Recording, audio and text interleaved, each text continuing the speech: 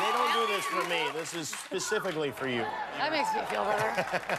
You, uh, when you walked out, I didn't realize because you have that color thing. I thought maybe you were you just had jewels glued to your body. I almost had an Completely naked. I thought I'd try something different.